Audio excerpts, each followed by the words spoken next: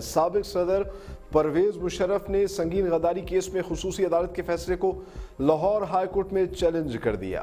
فیصلہ اجلت میں سنا گیا قدم قرار دیا جائے، درخواست میں سزا پر فوری عمل درآمد روکنے کی بھی استدا کی گئی۔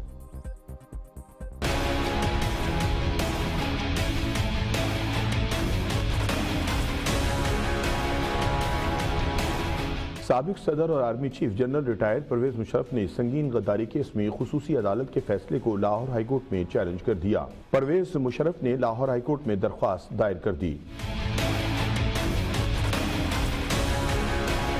سابق صدر کی جانب سے خصوصی عدالت کی سزا کے خلاف دائر درخواست میں پیرا سکس سکس پر اعتراض اٹھاتے ہوئے اسے حذف کرنے کی استدعا کی گئی۔ سابق صدر کی درخواست چھیاسی صفحات پر مشتمل ہے۔ خصوصی عدالت کی جانب سے سنائی گئی سزا پر فوری عمل درآمد روکنے کی استدا کی گئی ہے۔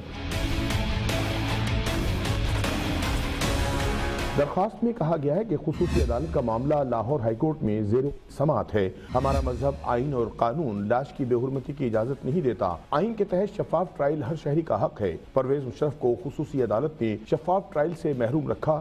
خصوصی عدالت نے جلدی میں فیصلہ سنایا۔ لہذا فیصلے کو کل عدم قرار دیا جائے۔